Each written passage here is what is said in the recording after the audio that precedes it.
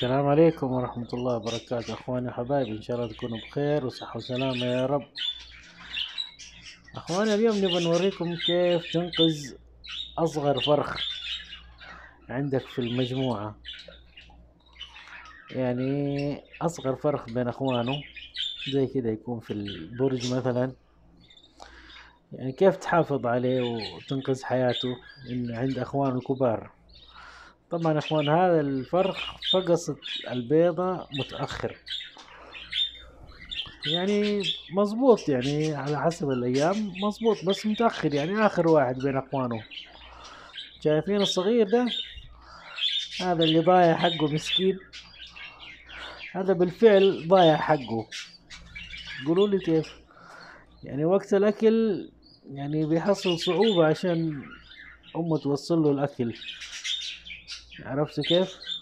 وغير كده إنه حجمه صغير وإخوانه الكبار بيدعسوا عليه. استغفر الله يعني إخوانه الكبار بيدعسوا عليه وصاحبنا مسكين يعني يعني يداقش عشان يعيش. سبحان الله. طيب هذا كيف تحافظ على حياته؟ وصحته إن شاء الله يعني يعني كيف أفهمكم؟ طبعا الطير يا اخواننا يعني صغير في الحجم وراح يندعس من إخوانه وإخوانه ما حيشوفوه. حتى وقت التأكيل الأم برضو يعني ما حتلحق تأكله.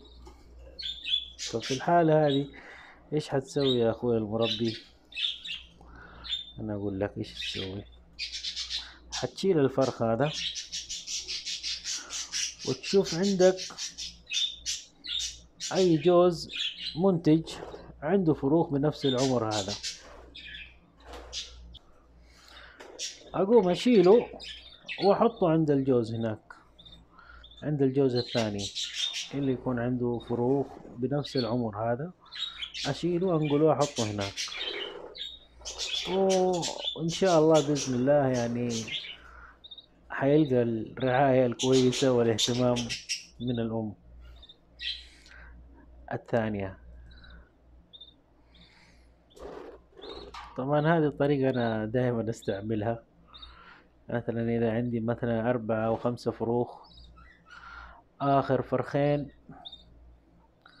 أقوم أنا أسحبهم وأحطهم عند أم ثانية. يكون عندها فروخ بنفس العمر حقها أو إني أسحب الفروخ الكبيرة. أسحب الفروخ الكبيرة مثلا يعني دحين ما شاء الله عندي هنا أربع فروخ إذا أنتم شايفين واضح ولا لا؟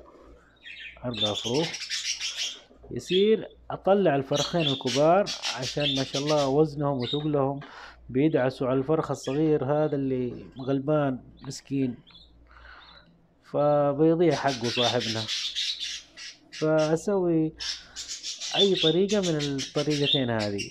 إذا لقيت فروخ ثانية بنفس عمره أروح أحطها جنبه هناك أو إني أسحب الفرخين الكبار. عرفتوا كيف؟ وهذا كل شيء يا أخوان. إن شاء الله إذا أفدناكم أدعمونا بلايك واشتراك في القناة وجزاكم الله ألف خير.